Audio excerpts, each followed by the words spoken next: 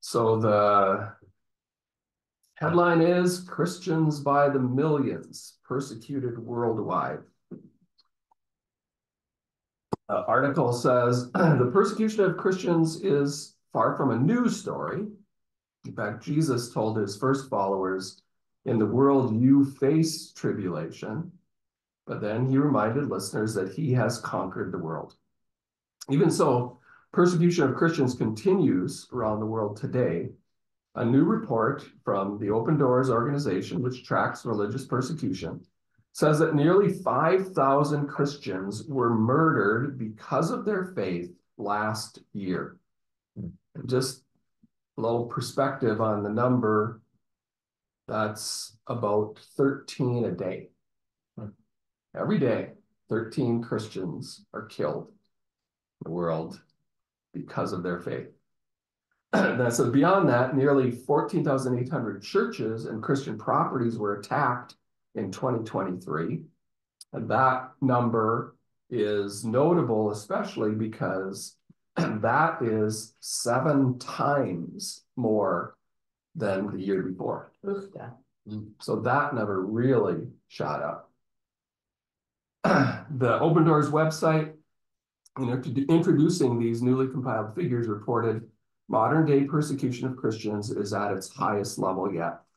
Open Doors 2024 World Watch List, an in-depth investigative report focusing on global Christian persecution, reveals that today, more than 365 million worldwide, up from 360 million last year, more than 365 million Christians face high levels of persecution and discrimination for their faith.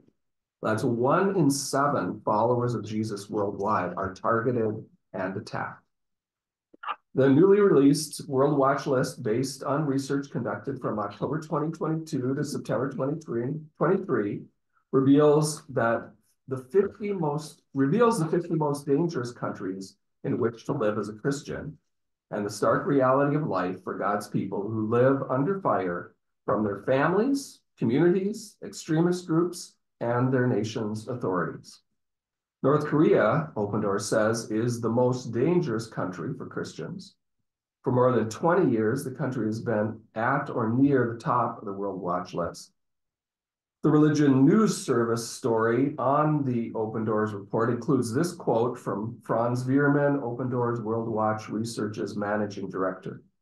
Christians are purposefully targeted or extra vulnerable in a continent, Africa, that is beset by the twin problems of radical Islamic elements and increasingly autocratic regimes. This is the ever growing threat for Christians south of the Sahara Desert, and if left unchecked, these twin pressures are expected to overwhelm them and force them out of their homes and villages. Although persecution of Christians globally is happening in appalling numbers, followers of other faith traditions are not immune from similar hatred. A recent alarming rise in anti-Semitism, for example, has been widely reported, especially in the wake of the October 7th, 2023 attack on Israel by Hamas and Israel's month, months-long military response. China's gruesome persecution of Muslim Uyghurs there to convert them to Chinese Communist Party ideology is another example. So I'm gonna, read the rest of that news story. Um, skip down to the applying the news story. It says government and quasi-governmental organizations in the US keep track of religious persecution around the world. These reports can provide citizens with information about where loss of religious liberty is being felt most deeply. In turn, citizens can use that information to communicate their concerns about this subject to their representatives in Congress Voters are silent on the subject. Members of Congress are likely to be silent too. Hmm. So let's start with the big question. The first one says, before reading these news reports on persecution of Christians around the world, how aware were you that this was happening? What do you say? Is this news to you? Old news? How aware are you of this happening? similar to old news, the numbers are higher. Mhm. Actually, Yes. they surprise me. Yeah, these numbers really are surprising. Any other comments on that? Just how aware? What's that little three minute thing that comes on, um, on the, on KFNW or, uh, like, I don't know. where they talk about um, an, a, a, a person who's being persecuted or killed and the, their family situation, and I will not let my brothers go. Remember that little thing they say? Oh, what is it called? I cannot, but that, every day on my way to work, they talk Oh. about some Then. some country and some mm-hmm. particular pastor or Christian and tell their story. And you don't remember who he does it. Can't huh? remember. I would guess most likely would be either Open Doors or Voice of the Martyrs. Voice of the Martyrs, that's what Okay. it is. Yeah. Yeah. Yep, that's another good source for information. Yeah. The only thing I've seen or heard of. Religious or spiritual persecution was, there's a movie on Hulu. That's called, um. I think the mission, Hmm, and it's about this. Missionary who went, tried to. Convert the North Sentinel Islands over by India. Mm-hmm. Yes. I don't know how old the movie is, but it's maybe two years old. yeah, something like that. So That's a pretty recent trip. Yeah, that's a pretty radical Yeah. situation, yeah. Yeah, and where he was killed, Yeah. yeah, yeah. Yeah, that's a, that's a very unique story, that one, yeah. Let's look at the scriptures, so let's start with uh Second Timothy three, verse twelve. Somebody's got that one, Yeah, I've got that one.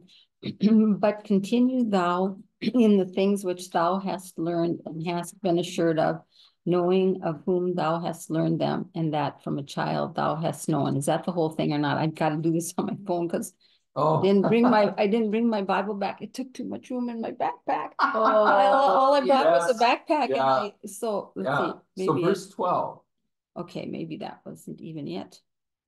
This says, in fact, all those who want to live a godly life in Christ Jesus will be persecuted. yeah. There, that's what you were looking Yeah. for, sorry. That was in the context, but yeah, so it says the apostle Paul in this passage is telling his missionary partner Timothy what he can expect as he evangelizes people by telling the gospel story. It won't be all sweetness and light, says Paul, who is mm-hmm. well aware of how often humans violate the prohibition against murder that is found among the Ten Commandments. Timothy is warned that his commitment to Jesus will inevitably lead others to persecute him but nonetheless, he must remain steadfast. So the question there is, why would anyone decide to dedicate his or her life to a path on which there is certain trouble ahead? You know, you think about in many of these countries where it's like, you know, if I become a Christian, I am going to face persecution, maybe severe persecution, maybe death. You know, for the early Christians, that was the reality. You know, if you become a Christian, you're going to be illegal as far as the state is concerned. Why would anyone decide to dedicate his or her life to a path on which there is certain trouble ahead? You know, that's one of the things that convinces many non-Christians. Is if Christianity wasn't true, why in the world are people dying for? it? Mm-hmm. Yeah. Why would you do that? Yeah. So, you know, that really points to, I think, one of the, you know, things we need to say is people follow Jesus because it's true. You know, they know this is right, this is reality, this is what is. Doesn't matter if it's hard, it's still what's true. eternity compared to our short life here on earth is mm-hmm. Something to think about. Yes, yeah, and that also is a huge thing. You know, I follow Jesus because there's an eternity ahead and I wanna be in heaven. Yeah. Any other things that you think of? Why would people say, I wanna follow Jesus, even though they're facing potential for severe persecution?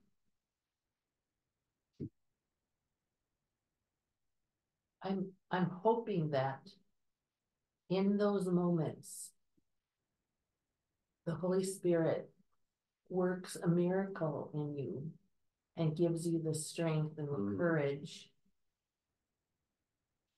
to stand up for your Mhm. faith and, Yeah, and, um, yeah, so it's not something we can do on our own. right, yeah, yeah, Yeah, but you stop to too, there, there's, there's a definite difference. Some people, a lot tougher.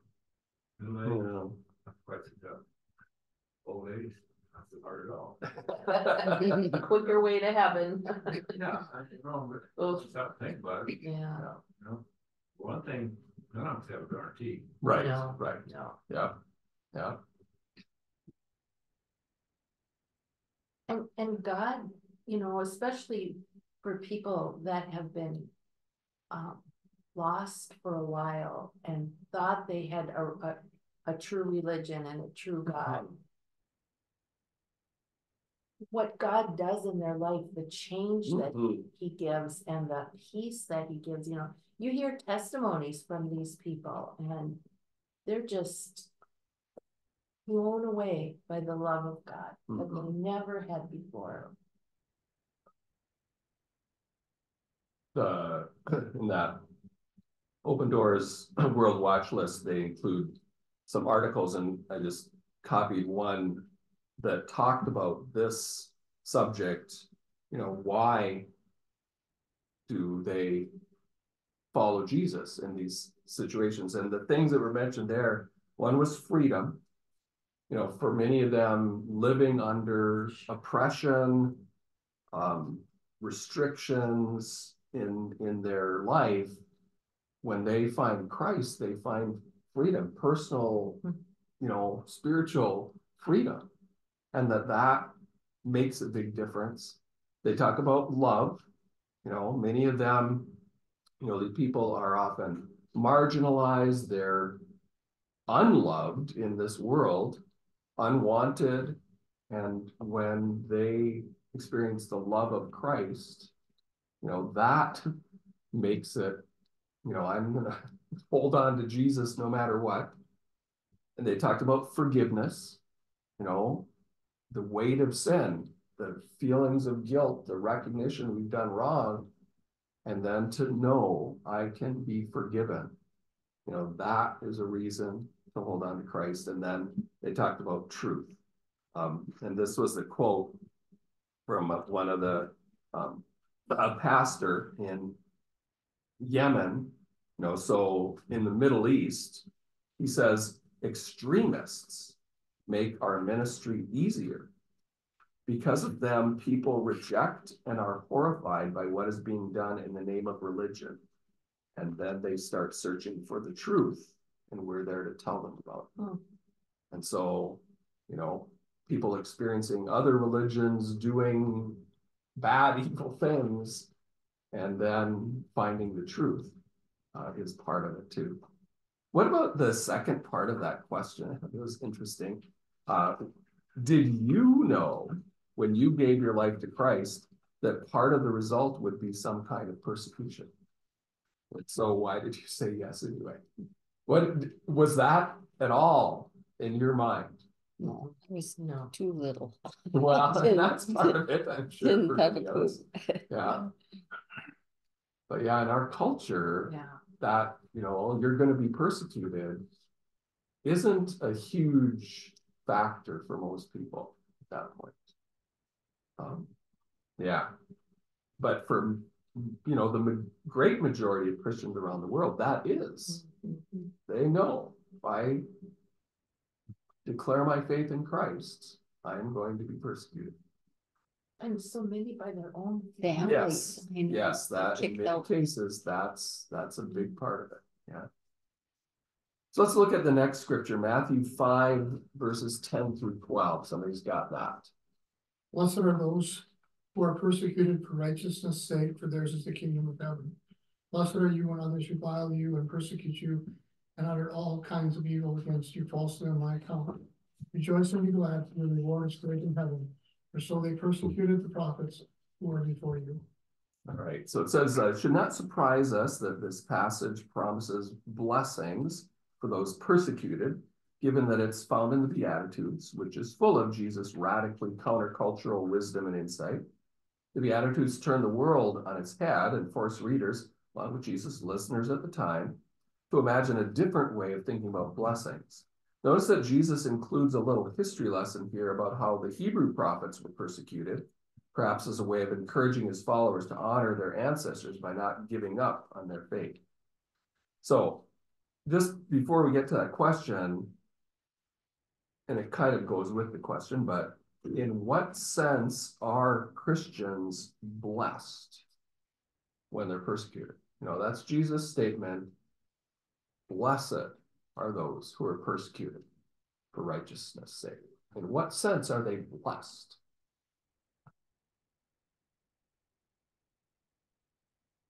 Well, I, I know like the disciples often counted themselves fortunate to be um persecuted or hurt or whatever, because that's what had happened to Jesus, and so they were Yeah. they were willing to do the same for him. Yeah, yeah, that's an interesting aspect of it.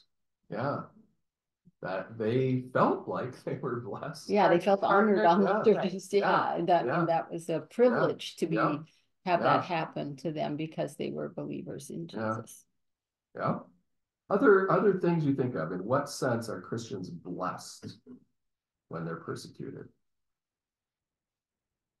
Either you will lose your faith or it will be strengthened. Mm-hmm. Yeah, And yeah, most of the cases, it seems it's strengthened. yeah, and so that's a way that God actually brings blessing here and now in the midst of persecution, yeah. The question here asks, should Christians be motivated to follow Jesus primarily because of a promised great reward in heaven? Or are there more earthbound reasons to hold to the faith no matter what? So what are they? What, you know, should that be a motivation? I- I'm I- promised I a think- great reward in heaven, so I should hold on. Yeah, I, That I don't think you don't even think about the think great so either. rewards really at the, I, I. I know for me personally, the thing that rang true to me just as a small child is that. My sins would be forgiven, Mhm, mhm. um, so. Forgiveness of sins to me is The is major, That's- and, and then the promise of eternal life. Yeah. And then just being able to be with God, the Father, Son, and Holy Spirit someday, you know, Yeah. those, those are the three things and the rewards. Mhm. I don't even think I'll maybe have any rewards, but if I get this, I'll, that'll Yeah. be, I'll be happy. Yes, Yeah. and that is, that is probably the biggest part of the reward is those things, really. Yeah. Yeah. Yeah, we see that word reward and we think about, you know, getting something for doing good, mm-hmm. which is hard to grasp and probably isn't the greatest motivator for us, but, but yeah, there's other parts of that reward, I think.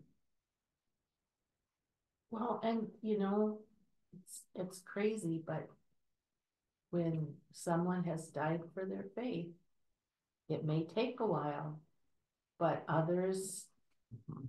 can often um, see that and look into Christianity and take it more seriously and what is this all about? Mhm. So people can be saved. Yeah, Yeah, like, what's the name of that missionary that was killed and his wife went back? Yeah. Yeah, yeah. And they, uh, you know, many Nate. became saved. Nate Saint was one of them, but that's not, No. Jim Elliot. That's Jim it, Elliot. Jim Elliot, yeah. Yeah, yeah. And I think that is some of the blessing that Mhm. Christians often think about. They think about being persecuted, that people come to know Jesus Mhm. through that. Yeah, And, and for like a family member who's Yeah. died, You know, they would be so rejoicing in heaven. Mhm, mhm. Yeah. Yeah. Uh, you know, just the, the statement in verse ten, you know, blessed are those who are persecuted for righteousness' sake, for theirs is the kingdom of heaven. You know, when Jesus goes on in verses eleven and twelve, he then focuses on heaven and eternity more. But that initial statement, theirs is the kingdom of heaven, isn't necessarily just looking ahead to eternity Mhm. you know, theirs is the kingdom of heaven. We're the kingdom of heaven is now too. Jesus working in our lives and changing us, and uh, you know, the help and the comfort and the joy and the peace that He gives. That's part of the kingdom of heaven today.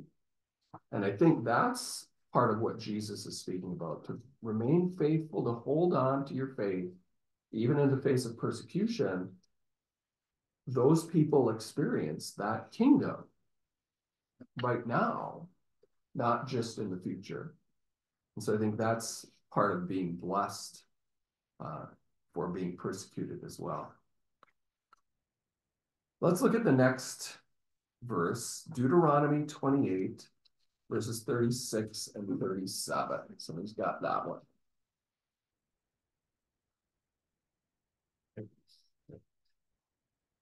The Lord will bring you, oh, let me start over.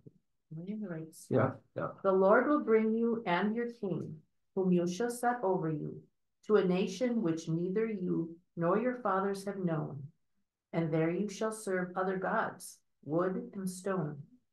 And you shall become a horror, a proverb, a taunt among all the people where the Lord will drive you.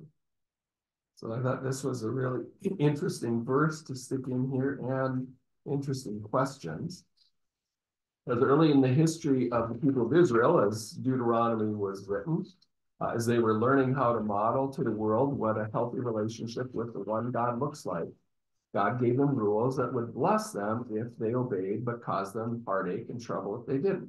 In effect, the people were given the freedom to make the odd choice of persecution over blessing. In what ways are Christians today given freedom to live in ways that will result in either blessing or persecution? In other words, do Christians sometimes bring persecution on themselves? Or is that an example of blaming the victim? So, how do you respond to that question? Do Christians sometimes bring persecution on themselves? Hmm.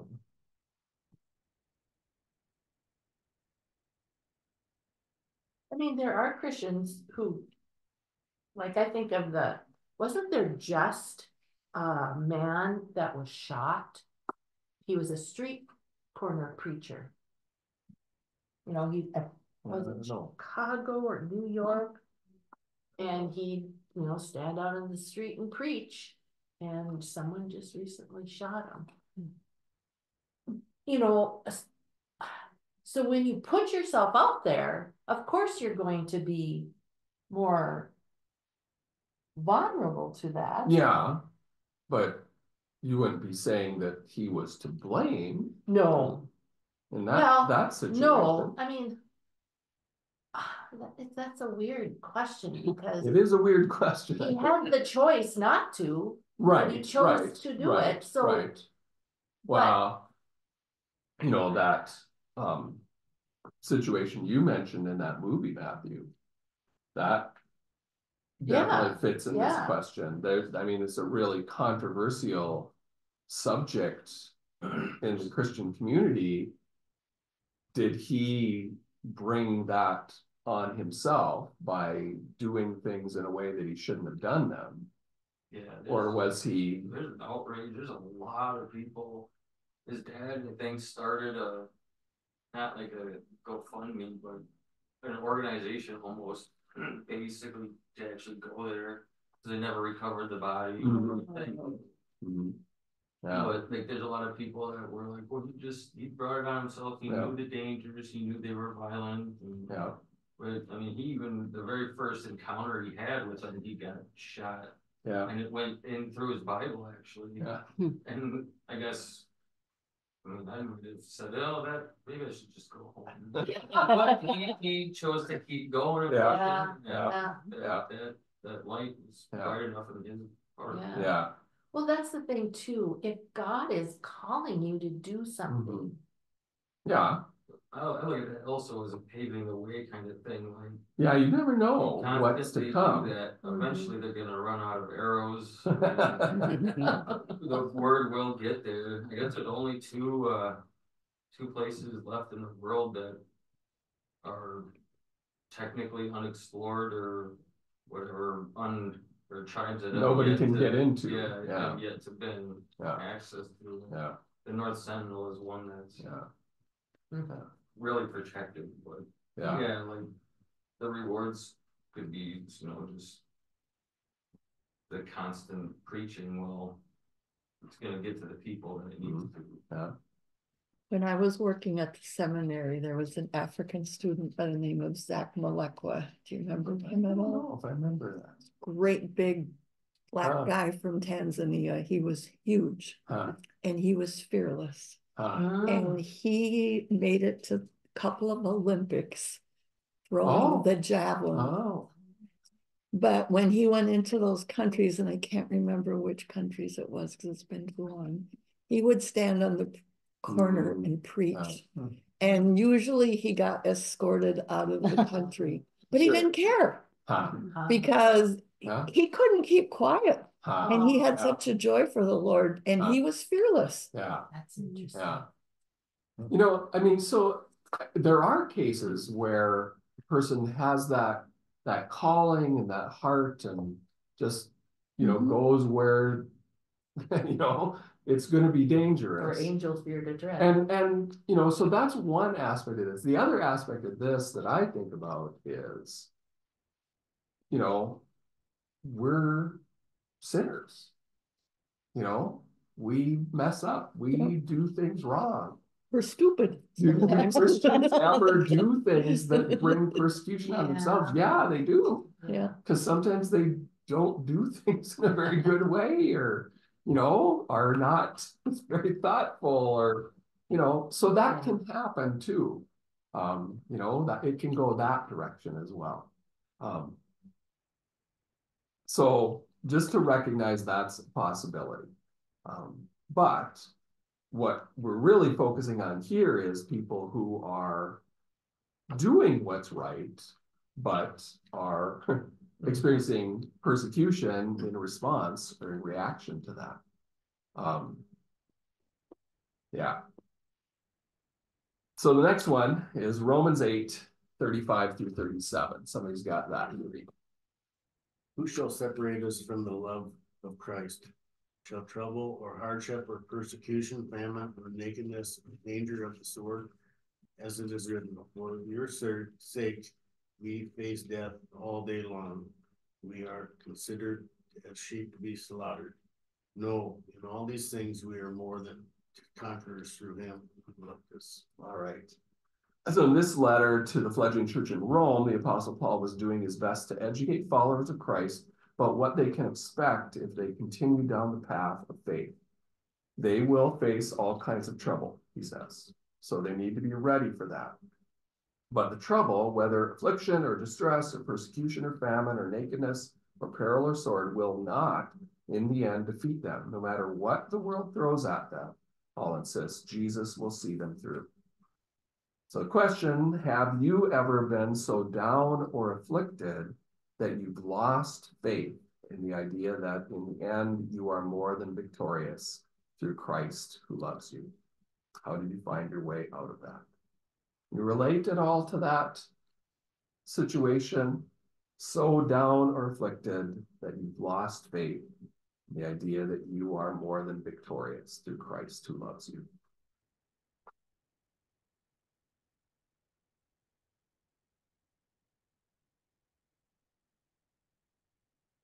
I don't know that I've gotten to the point ever where I've lost faith, but sometimes when I'm reading certain parts of the Bible, I just feel so bad Mm. because I think I just, I haven't, you know, lived up to this, and I don't, I keep doing the same dumb things over and over again and stuff.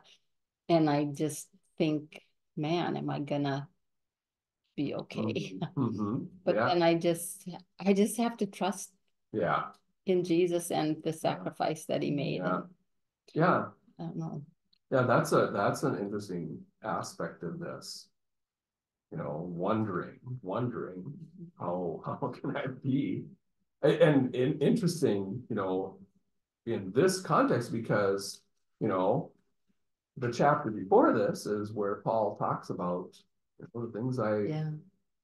Want to do, I don't do, the things I don't do, that's what I do, you know, and ends up with wretched man that I am, you know, and, and so that was, you know, his experience and testimony.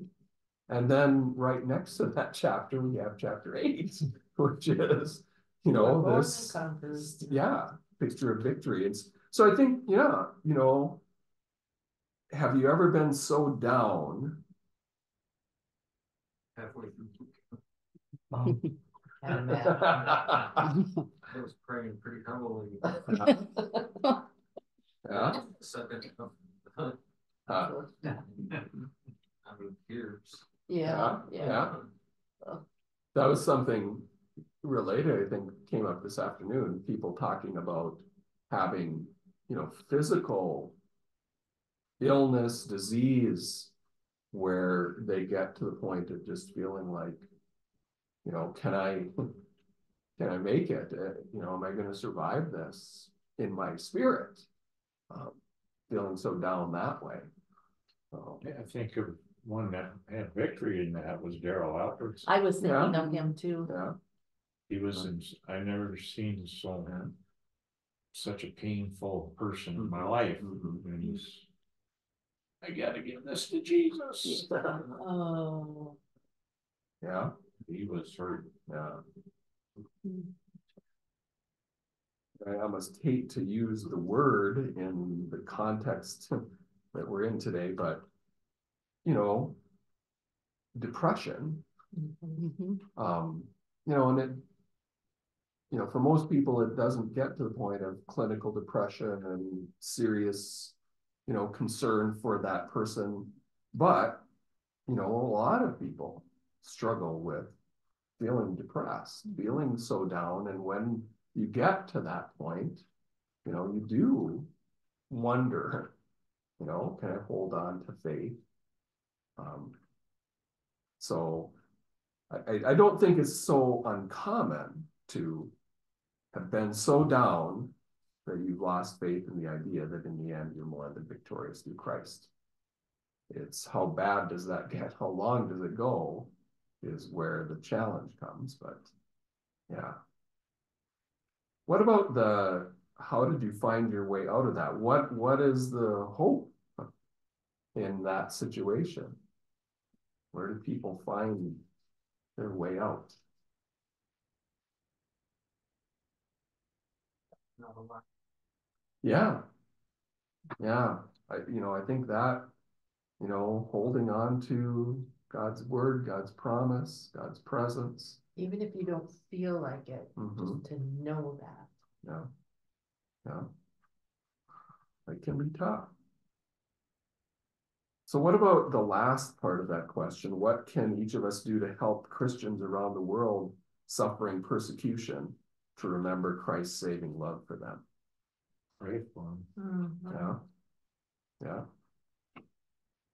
Yeah, I'm always gonna try to remember to pray for the person on the radio that I heard about that Mhm. day. Mhm. And it's somebody new every day, so. Yeah. Uh, Any other things that you think of?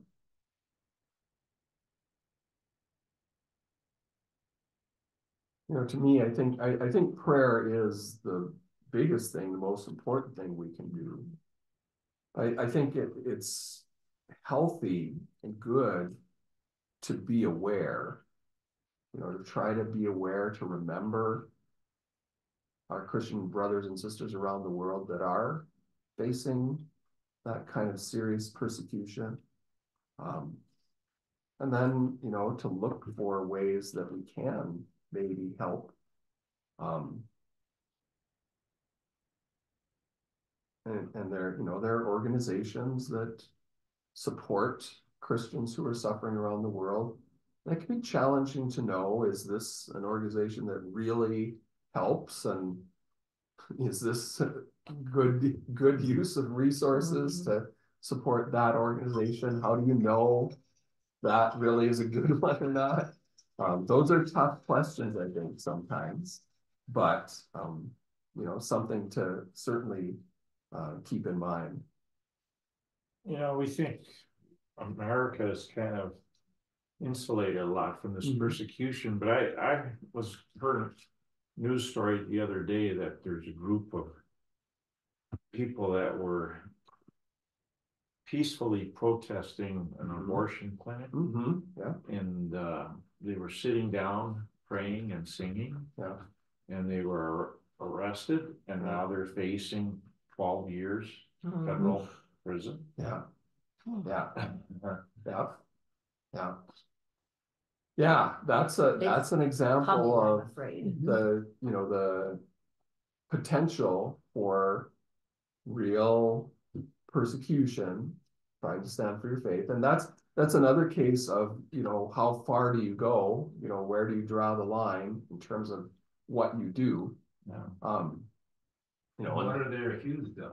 well, the, this case, I think it's five people that have been convicted of breaking a federal law that restricts protests outside of abortion centers.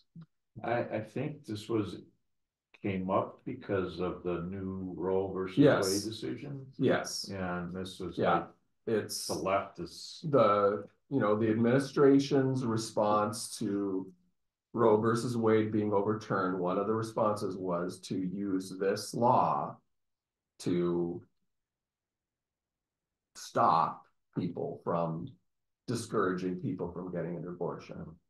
And, you know, in this case, you know, I don't know if you've heard or read about this. Um, the one person that I've seen and heard the most about that's con- been convicted is a father Yep. of eleven children, I think. Um, who has been involved in trying to stop people from getting abortions for years.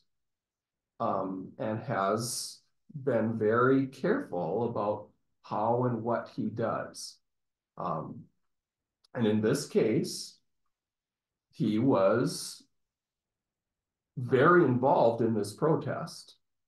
You know, he was kind of in charge of a number of the people that were there. He, you know, because of his experience in doing this over the years, had developed a really good relationship with the police. And so he had been talking to the police officers that were around, Mhm. making sure, you know, hey, we're not trying to cause problems. And we're wanting to be peaceful and, you know, if you give us a warning, most of us will leave. Said there are some that won't, you know, they want to be arrested. But most of us, you know, don't. And so, you know, they do this, the police do what they're gonna do. They give the warning, this father left. Yeah, He wasn't charged with Right. anything right. by the local authorities. But then the federal authorities got involved and so one morning at their home, you know, he's at home with his wife and eleven kids. And there's commotion outside and suddenly there's banging on the door and he looks out through the door and sees FBI agents with their guns drawn, pointed at him. And then they arrest him, put him in handcuffs, throw him in their car, and now he's been convicted of this crime is waiting sentencing. So, yeah, It sounds one thing, like, somebody ought, and Christians should be contesting or uh, the constitution, constitutionality of that law, because that's the right to speech, free Yes, speech. yes, yes, yeah. So it's, it's gonna be, So this, we- this will be appealed, for sure. yeah. You know, he's being represented by people who know what they're doing. What's his Um, name should, uh, at Ides motion. Yeah, Yeah. But, but it's a, you know, it's a kind of a scary thing to see. And, you know, that they targeted this man Mhm. is a, is a really interesting piece of it. Yeah, it's only free speech if you say what they wanna hear. Yeah, Yeah. Yeah. So. So that kind of goes with question two on the big questions, if you turn back to that. Um, since Jesus said his followers would have trouble in the world, but should nonetheless take up their cross and follow him, how prepared are you to suffer for your faith? What does it mean today in a country like the US compared to say sub-Saharan Africa? Um, you know, it's different, but it's, it's still around in the US in some ways, some forms. How prepared are you to suffer for your faith? How, how would you answer that question? Can you prepare? Well, that's, that's a good question too. Uh, I think in your mind, you can prepare. I mean, you, you know what you wanna do. Think about it, yeah, yeah, I think and pray about it too, that when the time comes that God will give you the Yeah. strength yeah. to, to stand up Mhm. for what you believe. yeah, Yeah. I, you know, we just haven't had it happen to Mhm. know how, how Yeah. you'll react and stuff, but yeah, just- just try to prepare, like you said, and Yeah. and just pray that he'll help you through it. Right now, I thank God for every day that we don't have crazy things right in our, you know, like Yeah. that in our, right in our home. Yeah. Praise him for every day that's for his grace and, yeah, he's, yeah, we do have an advantage living where we do. You know, the threats are less in rural Minnesota than they are in a lot of places. Mhm. But it is something to consider and, you know, we don't know where things are gonna go. So. Um, question three asks, have you ever been perse- persecuted because you're a Christian? How do you define persecution? How does what you call persecution compare to what people are going through elsewhere? And I thought this was an interesting example. If, for instance, you take offense when somebody says happy holidays instead of Merry Christmas, do you consider yourself a victim of persecution? Yeah. I just say Merry Christmas. You just gotta forgive them for. Yeah. stupidity. Yeah, I don't know if I can No, I would, say I've been persecuted No. because of being Christian. And, you know, we do, we do wanna be careful about how we define persecution, what we call persecution. Mm. Because so much of Christian, so many Christians around the world are oh, facing real yeah, persecution.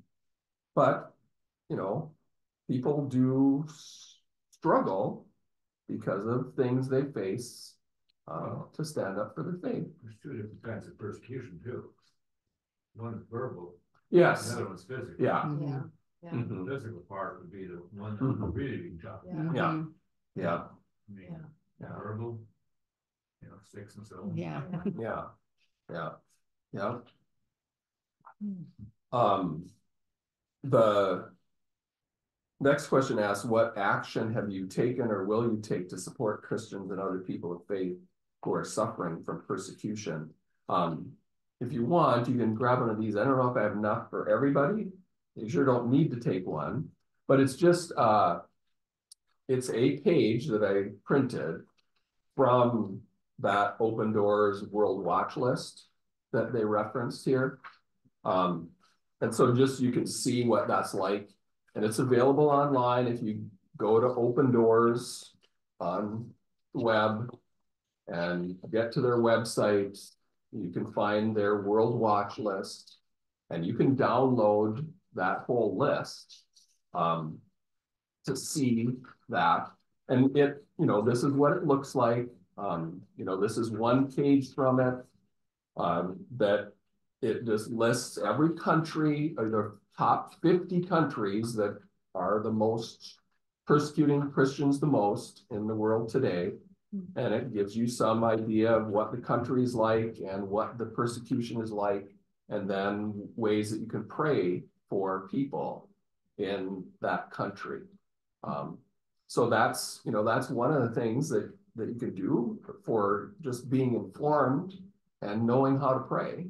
Um, it's, it's a great resource. Um, it also has, you know, in that world watch list, if you download it, it's got scattered throughout some articles and so on, talking about specific cases and um, kinds of persecution and so on. So that's one of the examples of the kinds of things that you can find. Any other thoughts about what action have you taken or will you take to support Christians and other people of faith who are suffering from persecution?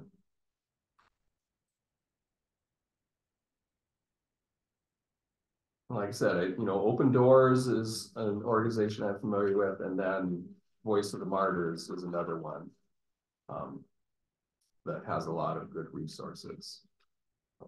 That one series, wasn't that M or something that we watched?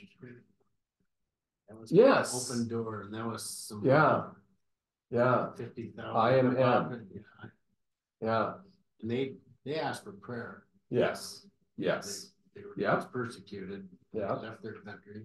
yeah, And they said, the best thing you can do for us, keep praying for us. yes, yeah, Looking at the bottom of the sheet here, it's, it's, he's great. yeah, Yeah. yeah. Both of them. Yeah, and that's, you know, that's a, like I say, that's a, a resource that is, can be really helpful. It gives you information, but then it also gives you some guidance in terms of how to pray, what to pray for. Yeah, it's amazing, crazy things that are going on. You know, North Korea, you know, is the government is the main source of persecution. Um, you know, just it's impossible basically to openly practice your faith in North Korea. Um, Somalia is one of those countries in Africa, south of Sahara, where there's extreme persecution because of the government and radical Islamic groups and families. So, yeah. Our Chinese Mhm. gentleman, pastor, Yeah, that, you know, they got a visa and came to seminary. Yeah. And, um, they cannot go back home because of Yes. persecution yeah. and they watch their parents. Um, Hmm. mm, Wow. So, Yeah, uh, yeah. China is such an interesting one that way because, you know, I don't know if it would have been twenty years ago, something like that, where, you know, there was this feeling that, you know, they're loosening things up, they're allowing more freedoms, they're you mm-hmm. know, and Christianity coming, you know, out from underground and, you know, seeing huge changes that way. And then the government saying, no, we're not gonna let that happen. And they've just gone, you know, so radically the other way mm-hmm. now that it's becoming much more like North Korea mm-hmm. than anything else, where it's, I know, maybe ten so years ago, they had a lot of home churches. yeah, Yeah. I mean. Yeah. nowadays- and they still Yeah. do. Yeah. but they're now way more secret underground versus, you know, just out in the open, yeah, And their ministry on the U of M campus is with a lot of visiting Yeah. scholars. And so some of these people are getting saved and going back home. yes, And so, yeah. The challenge of how to support them and Yeah. encourage them when they go back. is, And they really can't even hardly Right. contact them. Mhm. yeah, Mm. yeah. Yeah, you know, so these things are, you know, worldwide, but there's also parts of them that are close to home. Mhm. Katie Yeah. Strumman from Mhm. our church, she taught Sunday school in that Yeah. Chinese church. Yeah. Yeah. So, connection. Ooh, Katie Strumman. When she was at the Yeah. Bible college. she- Rod and Linda, or Yeah. Linda's Was the daughter. Chinese Yeah. church right there in the So- cities are you talking about? or Yeah, something? so the Okay, Home Right. Missions is, Okay. it's a Chinese church plant. okay. Hmm. Mhm. Right by the U of M. Yeah, it's an amazing thing. It really is. Yeah. There was a young gal from um, an African country, Eritrea, Mhm. when I was working there, and um, she had been in prison for her faith. Wow. And wow. she had been left out in the sun for days Wow. and almost died. Mm. And um, she could not go back home, so she got asylum. Huh. Wow. Wow. Yeah. Yeah. And we haven't a clue. No, Well, we're gonna stop here, encourage you to continue to pursue that. But let's pray as we close. Heavenly Father, thank you for this chance to think about and remember, recognize your faithful children around the world that are suffering for their faith and just to be reminded of the reality of that. And I pray that you'd help us not to forget, not to neglect the call to pray for and care about our fellow brothers and sisters in Christ who are suffering. Lord, I pray that you'd help us too to be able to stop and to think about and to really look at our own hearts and and think about being prepared to stand strong even in situations that aren't direct persecution, but just call for some courage and some strength to be able to hold on to what we believe and to stand for it. Give us your grace and your strength. Lord, thank you for this time, and we pray in Jesus' name. Amen. Thank you all very much. Um, next week, we start Lenten services, the Ash Wednesday, the first week of Lent. And so the meal uh, is offered at six and then uh, the service will be at seven.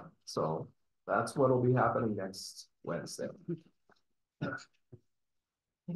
Oh, already? Next Wednesday? Yes. Oh, Well, lots of things.